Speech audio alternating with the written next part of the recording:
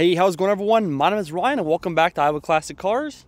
Today I've got a special video and that is I have ordered a two car trailer. So I'm to talk about this new trailer that I just picked up today, what all it's got for options and, and what you can uh, expect to see with it. So the first thing to note here is this was made by HP Trailers down in Braddyville, Iowa. This is not a shout out video or a sponsorship video. I paid with this with my own money. Just wanted to kind of show off the trailer and uh, talk about what I'll be doing with it in the near future here. So it's a 34 foot gooseneck with a four foot dovetail for a total length of 38 foot. The reason I ordered a 38 foot is because 259s is roughly 36 foot because they're 18 feet apiece. And I wanted a little bit of breathing room to have a winch up front as well as some space in between the cars so not slamming into each other on the ride home. I also did not want to have the fins overhanging on the trailer. So I figured 38 foot was kind of the, the best of both worlds. It's a 14,000 pound GVW. So this trailer and that truck are under the 26,000 pound requirement for a CDL. I'm gonna get my CDL just because I probably do need it, but this setup is DOT compliant. I ran that by the Iowa DOT before I purchased this trailer, and he, they confirmed that. So it is a full wood floor with, I believe, five inch channel steel for the framing. With a single 12 ton jack here in the middle.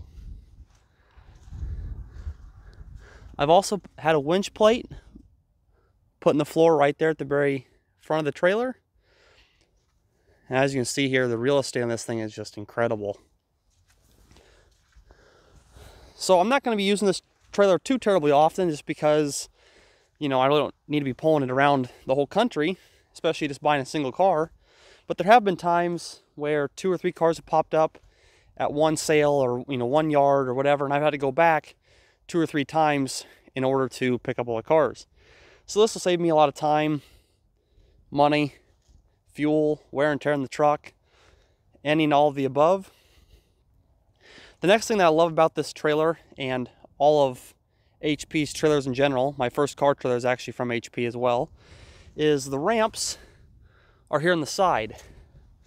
Some of them, you know, are right here in the in the very back of the deck and you have to slide them straight out.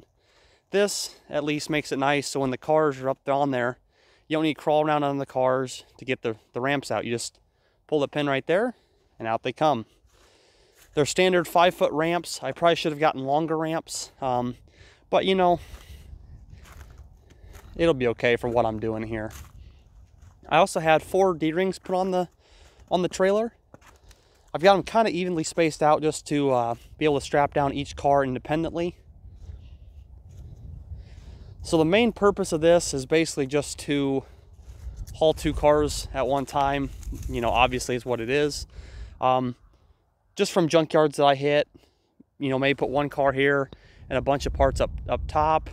You know, any and all combinations um, is what this thing will be used for.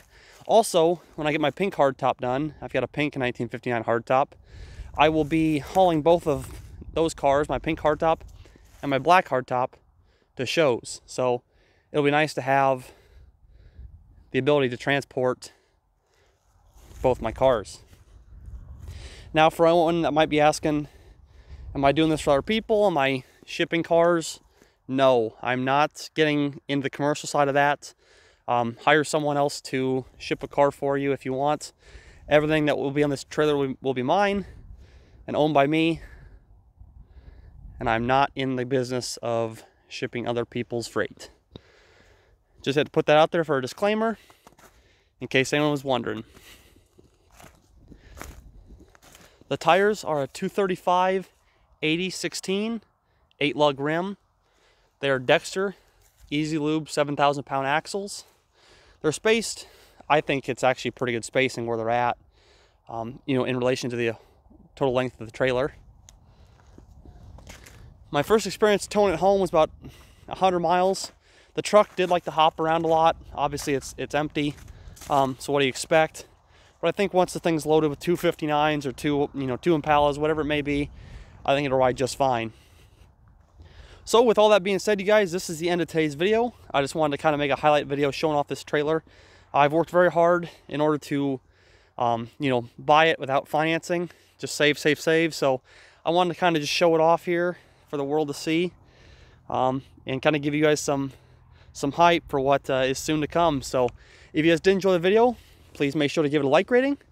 Leave a comment with your favorite feature on this trailer. And make sure to subscribe for more classic car videos coming very soon. Thank you all for watching. My name is Ryan with Iowa Classic Cars.